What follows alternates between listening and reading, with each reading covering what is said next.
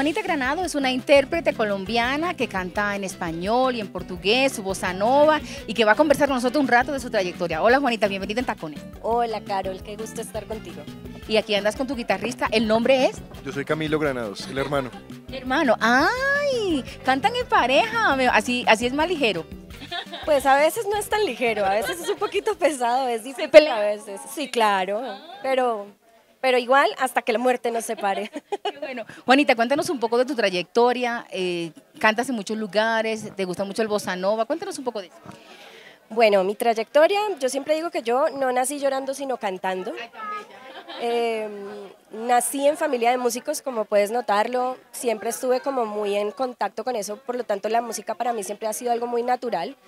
Eh, no canto realmente en muchos sitios porque la música que nosotros hacemos no es una música que popular, exacto.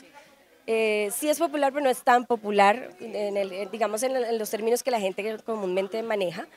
Eh, pero nos llaman a eventos, digamos, de, de cierto nivel em, cultural.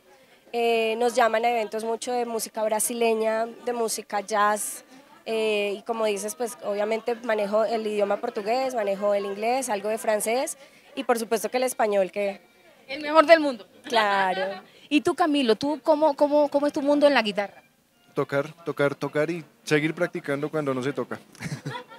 ¿Siempre acompañas a Juanita o también haces otras cosas? Sí, no, estoy tocando en distintos proyectos, también enseño en una universidad, estoy como, como, sí, soy profesor de la Universidad del Bosque chévere, una pareja de hermanos académicos en la música, pero además que viven de ella, ¿no? Es decir, y es difícil eh, vivir de la música, de esa música que ustedes hacen tan bonita, que es el jazz, el bossa nova, eh, algo de boleros también, ¿verdad? Claro, boleros, em, música de nuestro país, Colombia, bambú, exactamente. Eh, no es tan fácil, no es tan fácil, pero se puede. Cuando hay calidad uno logra eh, hacerlo.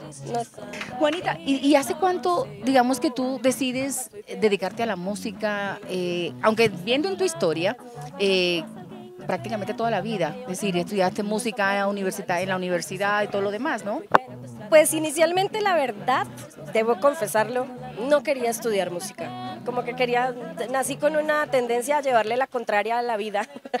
Por una familia musical como la que tienes, ¿no? Sí, sí, pero no, no sé, me parecía muy difícil el pentagrama y todas esas cosas, seguramente por eso no, no, tuve mucha intención de hacerlo en un principio, pero siempre supe que lo mío era la voz. Entonces yo estudié, siempre estuve, como capacitándome en en la voz, soy locutora eh, trabajé en radio hace muchos años y, eso lo hice, digamos que eh, profesionalmente antes de la música.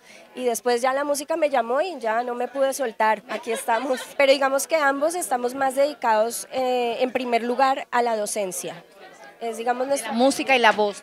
De la música y la voz, exacto. Yo trabajo con niños pequeños en la Filarmónica de Bogotá, trabajo con adultos en la, en una, en, la Universidad Inca de Colombia y esa es, digamos, mi actividad principal a la cual le he encontrado una magia increíble, me encanta. Una pasión. Sí. ¿Tú enseñas música o guitarra en la Universidad del Bosque? Profesor de guitarra en, la universidad y dicto otras materias de la, de, la, de la Facultad de Artes de Música de allá. Juanita y Camilo, son mis invitados hoy para esta nota musical de Entacones Televisión y quiero que terminemos con un bambuco. A mí me encanta el bambuco colombiano, me encanta. Sí, por ejemplo, el que más me gusta pues es el más, más famoso, ¿no? Es colombiano de un aguardiente de caña. Ese me encanta, pero canten el que ustedes quieran, porque con esas voces y esos talentos todo le queda bien. Muchas gracias. Pues mira, eh, con respecto a la música colombiana, siempre a nosotros nos ha gustado como mostrarle a la gente el nuevo bambuco. Eh, lo que tú dices, o sea, hay, hay bambucos que son muy conocidos y hay otros que no son tan conocidos, pero que son muy hermosos y que vale la pena mostrarle al mundo. Me hiciste volar, me hiciste soñar, me hiciste pensar de nuevo en amar, me hiciste sentir que puedo extrañar, que puedo volar.